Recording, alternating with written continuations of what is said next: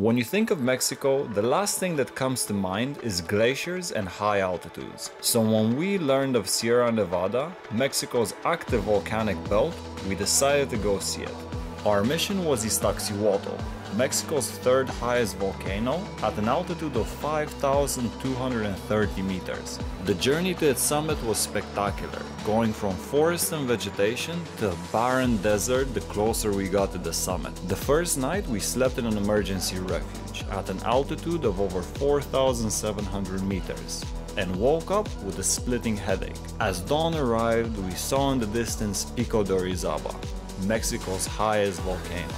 We were in awe. The journey was quiet, and as we approached the summit, we realized that we were the only people on the entire mountain. This is my definition of a perfect adventure.